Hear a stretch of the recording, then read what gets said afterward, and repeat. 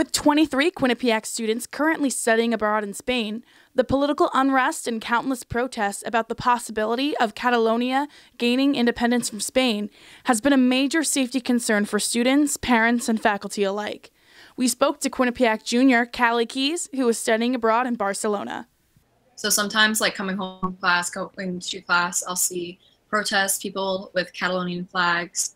Most protests have remained peaceful, but the university and its partners are doing everything they can to ensure students have a safe experience while abroad.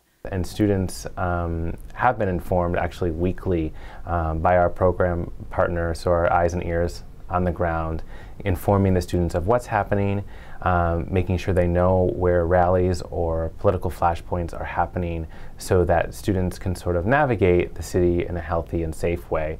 Although safety is on the mind, students have definitely been gaining a unique, eye opening experience while being in the heart of the action in Barcelona, Spain.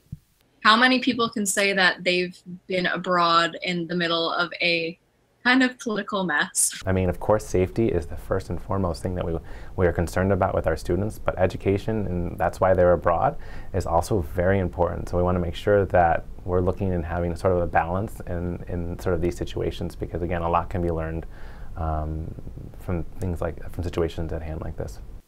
Time will tell if Catalonia is able to secede from Spain, but until then, protests are continuing and students are staying as politically and socially aware as possible.